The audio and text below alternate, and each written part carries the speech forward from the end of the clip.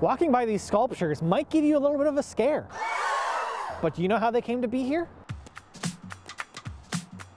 Located in the Bay and Algoma district, these two sculptures, constructed in 2016, are some of the newest works of public art added into the city of Thunder Bay.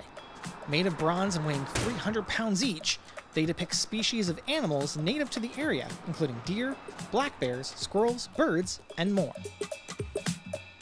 The sculptures were made through a process that involved creating a model from taxidermy and actual human clothing at which point I then made a rubber mold over the entire sculpture and they were cast in bronze in various sections and then welded together and then finally finished, patinaed and installed.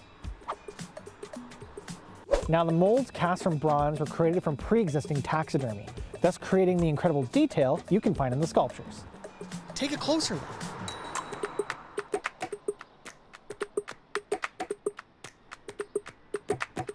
A lot of community input was considered in the selection of what sculptures would be chosen for the area, and in the end, these two pieces created specifically for their new home were the winners.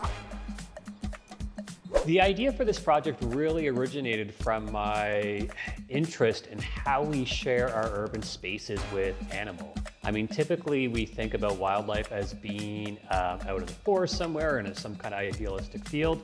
But really, as our urban centers expand, we're seeing a lot more deer and coyotes and rabbits and birds inhabiting the city around us. And so these pieces really originated from um, that interest.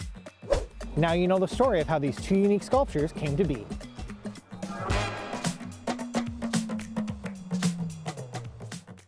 It was gold, Jan. It was gold. The trick is, is if I'm gonna remember any of this.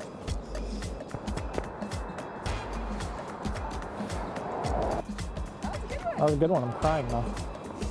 This was so good, I started crying.